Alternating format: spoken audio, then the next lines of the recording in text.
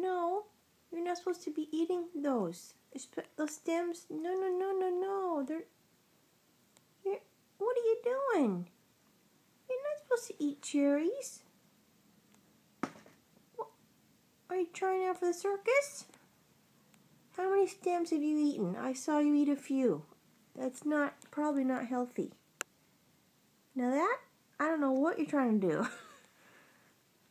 it's funny looking. You're trying to take the stem off, huh? I don't want you to eat the stems.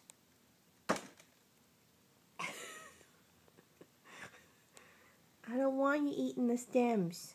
I haven't even washed them yet. Okay?